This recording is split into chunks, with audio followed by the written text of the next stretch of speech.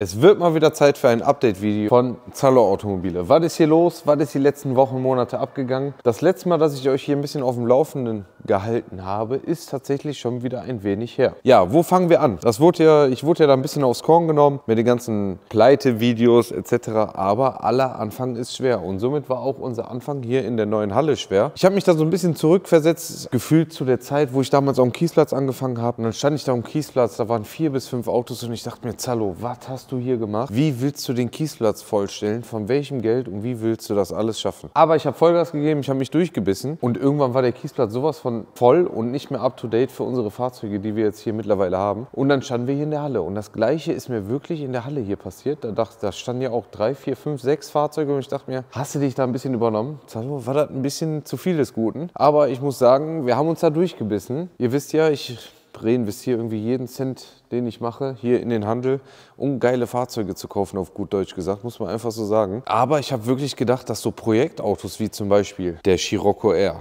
da habe ich mir einfach wirklich ein bisschen mehr von versprochen, dass sie ein bisschen besser angenommen werden, sage ich mal hier. Ja, bei der Community würde ich schon sagen. Weil es ist ja wirklich eigentlich ein richtig geiles Teil. Ne? Ist flach auf der Erde, hat ein H&R Deep Fahrwerk drin, Auspuff, Motor, alles gemacht. Der Motor 18.000, lest euch die Beschreibung durch. Jedes Fahrzeug ist natürlich inseriert. 18.000 Euro sind hier in diesen Scirocco R geflossen vom Vorbesitzer. Er hat sich da wirklich nicht lumpen lassen. Nur deswegen habe ich das Fahrzeug ja auch gekauft. Knapp 400 PS das Ding. Liegt es daran, dass vielleicht der Motorumbau nicht eingetragen ist, beziehungsweise die Leistung? Eigentlich bin ich so sowas immer gut quitt geworden.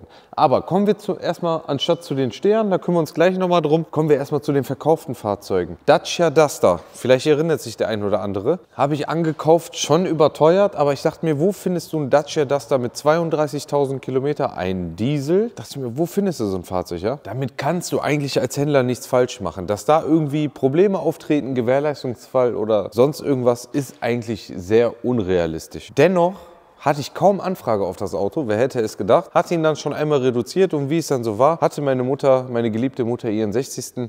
Und da war mein Onkel auch da und er sagte, du ja, hast ja Händler, ne, bist ja jetzt, ich suche eigentlich ein Auto und du hast ja ein Duster da. Hatte mein Onkel, mein anderer Onkel ihm geschickt. Ja, lange Rede, gar keinen Sinn. Da habe ich zu ihm gesagt, weißt du was, du hast ja schon mal so ein Duster, wenn du Bock auf das Teil hast, gib mir glatten Zehner und dann ist gut, dann habe ich da nicht, ich habe echt viel bezahlt für das Auto, dann habe ich da kaum was dran verdient. Aber aus den Augen, aus dem Sinn, Onkel freut sich, hat jetzt ein Auto, klar, was ein bisschen älter ist, aber mit 30.000 Kilometern, das müsst ihr euch mal überlegen. Ja, da war der Duster erstmal weg. Dann hatten wir den BMW E46 330D Clubsport. Und da hatten wir gesagt, entweder geht er zum vernünftigen Preis weg und wenn nicht, ist auch nicht schlimm, dann bleibt er uns erhalten. Der ist jetzt an einen sehr glücklichen Besitzer weitergegangen, haben uns doch tatsächlich getrennt und zwar für 9,5. Das war so ein Preis, wo ich gesagt habe, komm, das können wir machen. Er ist jetzt wirklich glücklich damit. Er hat schon die Clubsport-Ecken hat er ja dazu bekommen. Die hat er lackieren lassen, an die Frontstoßstange dran gebaut und Schmackofatzo. Ne? Der hat das Ding sauber gemacht, der sieht echt aus wie geleckt. Und er hat anscheinend auch sehr, sehr viel Spaß damit. Was haben wir noch verkauft? Golf 3 VR6 Turbo, den vom Gockel. Den haben wir auch verkauft, hat unsere Halle verlassen. Und das ist ja eigentlich auch so ein Projekt, ja, so ein Projektfahrzeug, ne? wo ich mir gedacht habe, der Motorumbau ist vom Gockel, da kannst du nicht viel mit falsch machen. Das Ding lief, kam auch netter junger Mann, im Mai tatsächlich genau gleich alt wie ich und hatte einfach Bock auf eine Spaßbüchse. Ein bisschen im Sommer, ne, ein bisschen Cabrio. Ihr müsst überlegen, das Fahrzeug stand jetzt monatelang bei mir und erst jetzt habe ich ihn verkauft. Klar, die Saison fängt an und dann ging das Fahrzeug jetzt. Aber wir hatten uns auch geeinigt auf den Preis tatsächlich, bevor er in Probe gefahren ist. Das Ding stand hier, lief nur und hat er gesagt, weißt du was, für den und den Kurs würde ich hier mitnehmen und ich habe gesagt, weißt du was, ich wir sprechen die gleiche Sprache, das ist mir wichtig, weil der kommt nicht wieder. Ne? Wenn da was dran ist, äh, der weiß, was er kauft. Und das ist mir wichtig. Ich möchte, dass wir eine Sprache sprechen hier beim Ankauf und Verkauf. Und ihr wisst ja, wie ich das sehe. Ich kaufe die Fahrzeuge bestmöglich mit bestem Gewissen an. Ich gucke, dass alles funktioniert, dass alles tippitoppi ist. Wenn nicht, falls irgendwelche Mängel sind, kommuniziere ich die, bevor ich irgendwas Positives aufzähle meistens, zähle ich die negativen Sachen auf und sage die dem Interessenten, der kommt. Entweder vorher beim Telefon oder hier vor Ort, Angesicht zu Angesicht. Das ist mir, mir immer sehr wichtig und das kommt auch immer sehr gut an. Und dann wissen die Leute einfach, was sie kaufen und dann verzichten die auch irgendwie auf Garantie oder sonst was.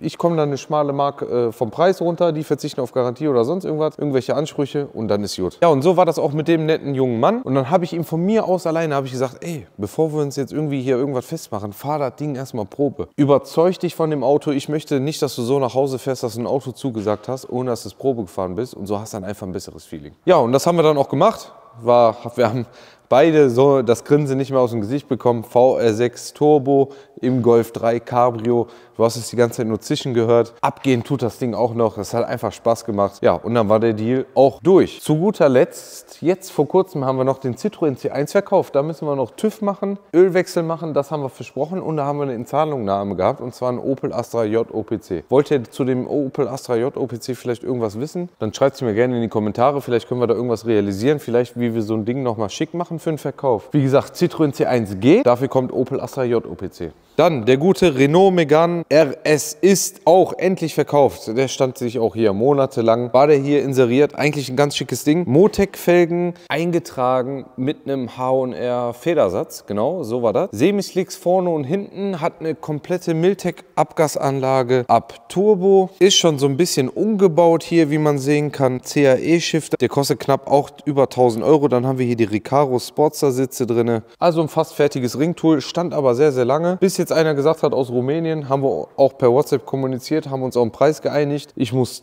TÜV machen. Überlegt euch mal, das Fahrzeug hat gerade keinen TÜV, geht eigentlich in den Export nach Rumänien. Aber um Zollkennzeichen zu machen, damit der Kunde mit dem Fahrzeug auf Zollkennzeichen das Land verlassen darf, muss ich frischen TÜV machen. Das muss man sich mal vorstellen. Da hat das Fahrzeug zwei Jahre frischen TÜV, damit es in den Export geht am nächsten Tag. Aber das ist halt Deutschland, ne? Frischer TÜV brauche ich euch nicht erklären. 130, 140 Euro. Zollkennzeichen, alles drum und dran, kosten 280 Euro. Habe ich jetzt auch mal wieder 420 Euro nur für Zollkennzeichen, für die Überführung des Kunden bezahlt. Das, das darf man keinem erzählen, oder? Naja, aber weg ist weg. Ja, kommen wir wieder ein bisschen zu den Stehern. Seat Leon Cupra, fragt mich nicht. Tolles Auto, tiefer, Ultra Wheels eingetragen, Maxton komplett, Schweller, Diffusor, Frontlippe, alles also super Ausstattung, komplett Checkheft gepflegt. Wie gesagt, wenn ihr da irgendwelche Infos braucht, liest euch noch mal gerne in die, in die Beschreibung des Fahrzeugs rein. Steht sich auch die Räder im Bauch. Habe ich eine Finanzierungsanfrage, mal gucken, was daraus wird. Audi S3 hat mal das Video gemacht. Komisch, verstehe ich auch nicht, wirklich. Ein Dampfhammer mit Schalensitze, passiert irgendwie nichts. Dann haben wir hier Neuankömmling, das ist ein 116D. Ja, unter 100.000 Kilometer, den habe ich einfach mal mitgenommen. Fünftürer, da kann man nichts falsch machen. Hat ein bisschen Ausstattung, was eine Frau zum Beispiel braucht. Sitzheizung, Navigation, Sechsgang. Ist ein schickes Ding. Konnte man einfach mitnehmen für den Handel. So, dann haben wir noch einen Steher. Ja, was soll ich euch sagen? Das hier war wahrscheinlich so ein klassischer Fehlkauf wieder von mir.